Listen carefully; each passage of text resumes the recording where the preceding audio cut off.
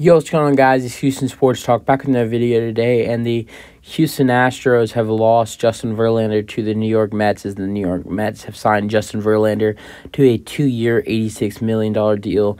Um, this did not shock me. Um, I knew that he was going to sign with New York the moment that uh, Jacob DeGrom signed with the Rangers. Um, I think the Rangers probably signed DeGrom for two reasons. Uh, number one, to get one of the best pitchers in baseball.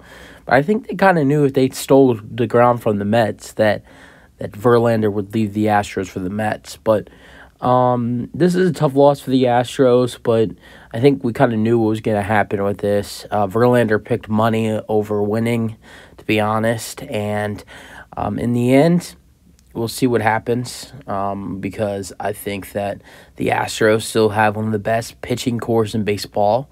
Now, Framber Valdez is the number one pitcher in Houston. Uh, you have Christian Javier with now Verlander leaving. Javier should be a starter next year. You have Luis Garcia. Um, if Jose Urquidy does not get traded, you have Jose Urquidy. And one of the most, the, the pitcher that I'm the most excited about is Hunter Brown.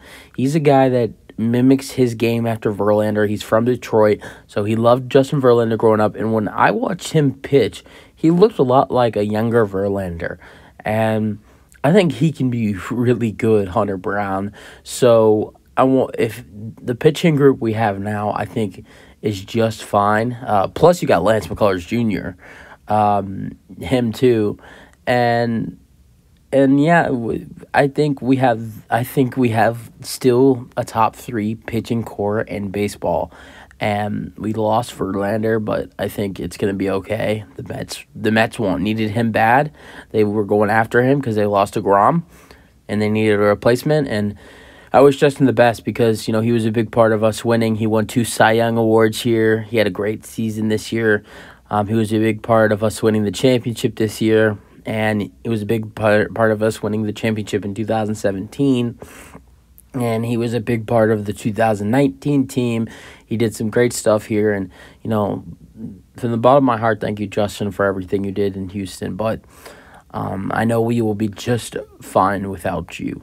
Um, this is a great signing for the mets as now they replaced DeGrom.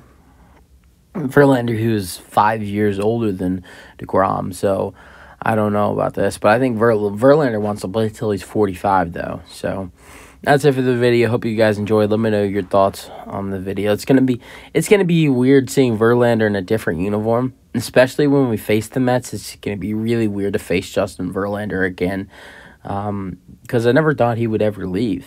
But um, thanks JV and um, Mets signed Justin Verlander a two-year, eighty-six million dollar deal and peace out. Go.